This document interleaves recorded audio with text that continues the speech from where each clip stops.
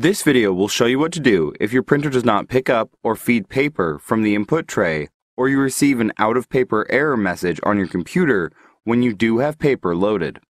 Sometimes the problem can be fixed just by resetting the printer. First, make sure the printer is powered on. If it is off, press the power button. Next, turn to the back of the printer. Without turning the printer off, remove the power cord. Unplug the power cord from the wall outlet.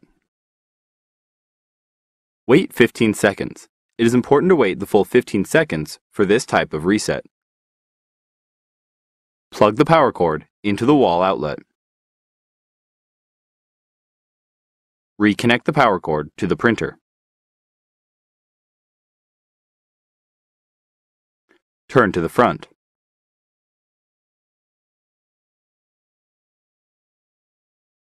If the printer does not turn on automatically, press the power button. Try printing a self-test page to see if the issue is resolved. On the control panel, press and hold the Cancel button, then press the Start Color Copy button. Release both buttons at the same time. The self-test page prints. If the self-test page prints successfully, the issue is resolved. If the self-test page does not print, go on to the next step. Often, the condition of the paper you're using can cause paper not to feed correctly. Remove the paper from the input tray. Remove any damaged paper you find. Make sure there are at least 10 sheets of plain white paper, but no more than 25 sheets in the paper stack. The printer can hold more sheets of paper, but this number is best for testing. Make sure all the paper is the same size and type. Then tap it on a flat surface to get the edges perfectly aligned. Finally, load paper into the input tray until it stops. Slide the paper width guide inward until it stops at the edge of the paper. Do not push the guide in so tightly that it starts to bend the paper. Try printing a self-test page again to see if the issue is resolved. On the control panel, press and hold the Cancel button, then press the Start Color Copy button.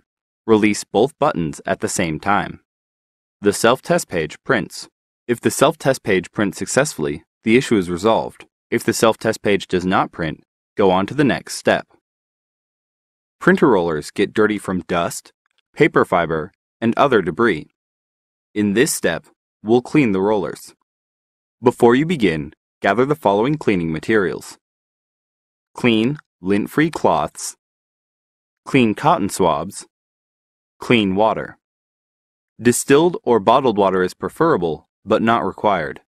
Do not use alcohol or other chemical cleaners. Remove all paper from the input and output tray.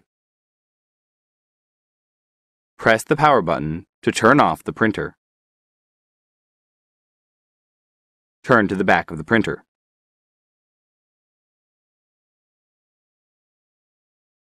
Unplug the power cord. Remove the rear access door.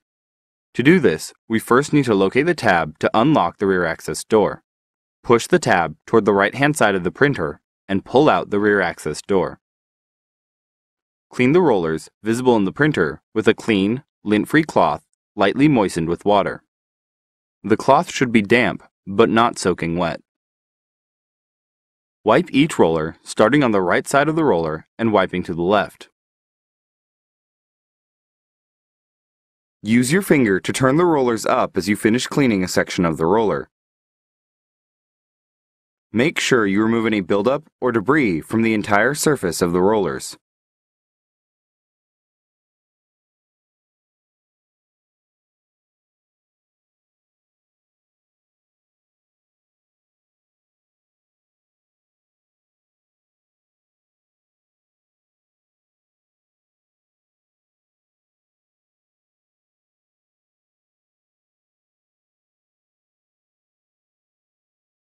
Look for the paper pick rollers farther inside the rear of the printer. Clean the rollers with a moistened cotton swab, removing any buildup or debris. These rollers are difficult to reach, but they are the most important to clean. If these rollers inside the printer are not cleaned, This problem will continue because these are the rollers that feed paper into the printer.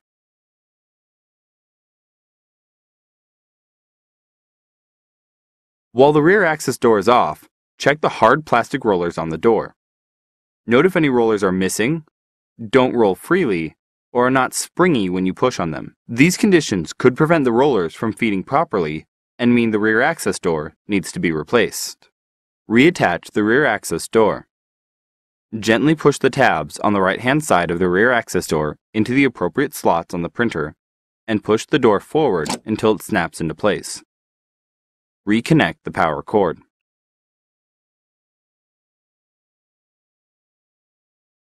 Go to the front.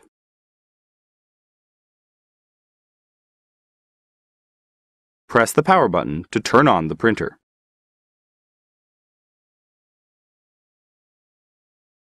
Load paper into the input tray until it stops.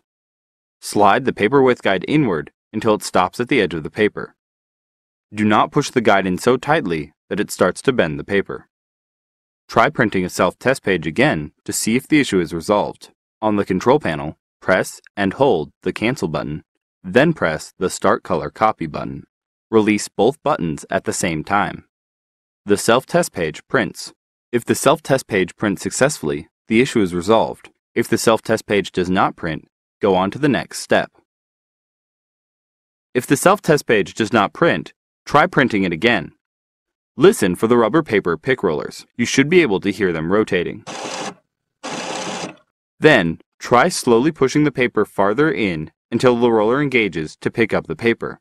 Be careful not to push the paper in too far, which can cause paper jams. If the self-test page does not print when slowly pushing the paper farther in, repeat the previous step to clean the rollers again. If the issue continues after repeated cleaning, skip the next step and service the printer. If the self-test page prints while slowly pushing the paper farther in, try printing the original document again. The paper might not have been loaded far enough into the printer. If the issue is resolved, there is no need to continue troubleshooting. If the paper only feeds through the printer when you slowly push it farther in, repeat the previous step to clean the rollers again.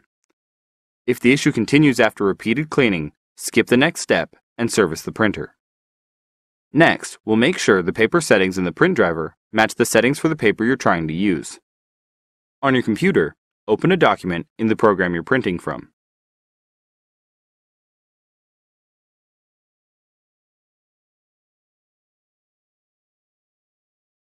On your keyboard, press Ctrl and P to bring up the Printing Properties window. Click Properties. When the Properties box opens, click the Features tab. Select the Paper Type drop-down menu. Click More. And then choose the appropriate paper type. Click OK to confirm the paper type you selected. Select the Size drop-down menu. Click More and choose the appropriate paper size. Press OK to confirm the paper size you selected. Click OK at the bottom of the Properties box. Click OK again to print the document. If the document prints successfully, the issue is resolved. If the document does not print, go on to the next step. If you've tried everything described in this video and you still have a problem, your printer likely needs some type of service. Contact HP to find out what the support options are for your printer. Your options for service may vary depending on how long you've owned it and what country you live in.